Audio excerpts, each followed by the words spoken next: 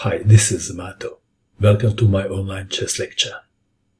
In this video I will show you a game between Paul Morphy and William Potier. This is a game from Blindfold Simul that Paul Morphy played in Paris, France in 1858. Paul Morphy played on 8 boards. He had white pieces and in this game he started with e4. William Potier played e5, knight to f3, attacking the pawn, but now knight to f6, the Russian defense. White to move, bishop to c4 was played. Knight takes pawn on e5, and knight to c3 are the two most played moves.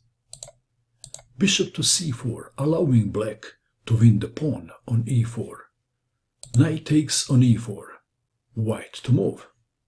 Paul Morphy played the knight to c3, knight to f6. If knight takes on c3, then white recaptures with a d-pawn, and black is advised to play f6, not d6. If d6, then knight to g5, and black is in a big trouble. Back to our game.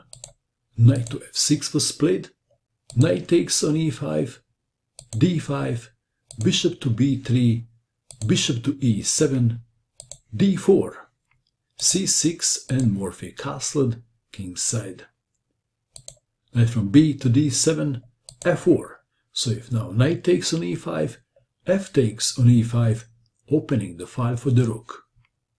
Knight to b6, queen to f3, black to move, h5 was played.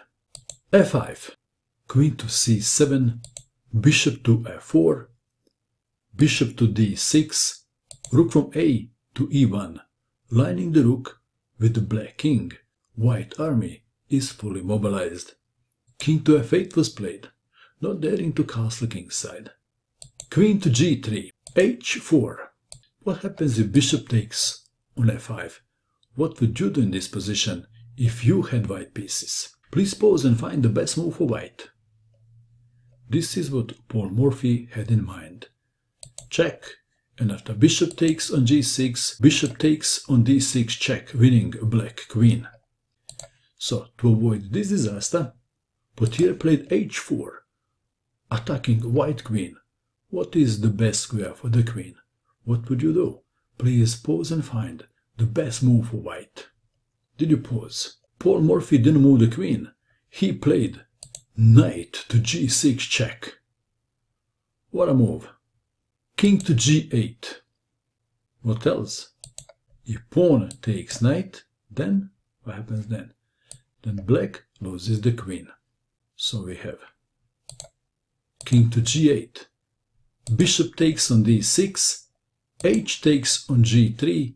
Bishop takes queen. f takes on g6. f takes on g6. Pawn takes pawn on h2 check.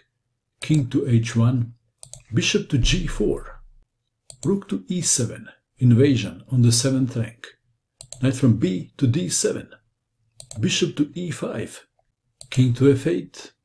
Rook to f7 check. King to g8. Why to move? How to make the progress? What would you do in this position if you had white pieces? Please pause and find the best move for white. Did you pause? What did you find? Did you find the killer move? Paul Morphy played this brilliant knight sacrifice. Knight takes on d5. What a move.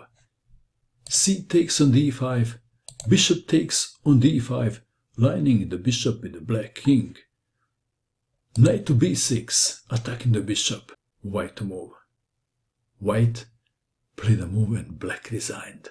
Please pause and find this amazing move. Did you pause? What did you find? Paul Morphy played Bishop to b3, the silent killer move. Potier resigned in a hopeless position. One line goes like this. Everything is losing. So just a random move. Rook to h6. Then rook from 7 takes on f6. Discover the check from the bishop after king to h8, check, rook takes rook, rook takes rook, check, mate. What a brilliant attack by Paul Morphy. And can you imagine? This was a blindfold simul game. The rumor says that fans of William Potier complained that Morphy was peeking under the blindfold.